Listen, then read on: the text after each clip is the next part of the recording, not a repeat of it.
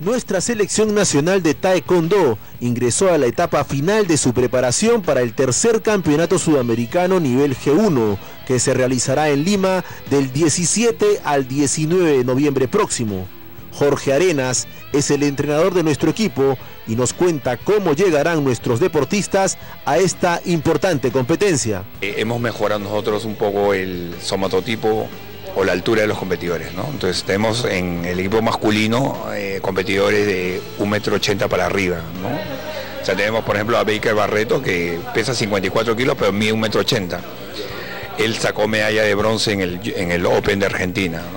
Otro deportista también, Braulio León, que ganó dos combates y, la medalla se le queda por un punto, pero también es un competidor que mide 1,82 m.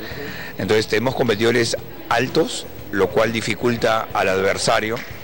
¿no? y se ha mejorado, como te estoy repitiendo, el somatotipo. ¿no? En este sudamericano, Perú mostrará sus mejores exponentes, Luis Oblitas, Braulio León y Peter López en varones, mientras que en damas nos representarán Belén Costa, Alexandra Ortiz y Yulisa Díez Canseco. Hemos tratado, te voy a repetir, de conformar la mejor selección en mayores.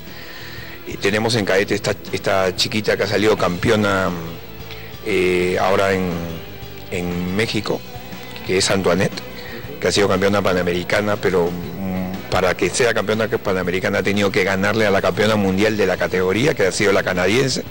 Entonces tenemos, eh, un, como te digo, este, un equipo joven, igual en juveniles hay muchos muchos chicos con talento.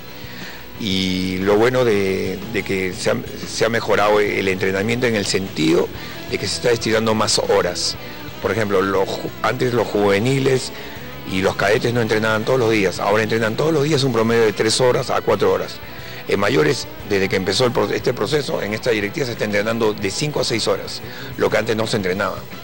Entonces estamos entrenando mucho, estamos con mucha humildad y mucho trabajo, tratando de cambiar y revertir y buscar resultados justamente para el Perú.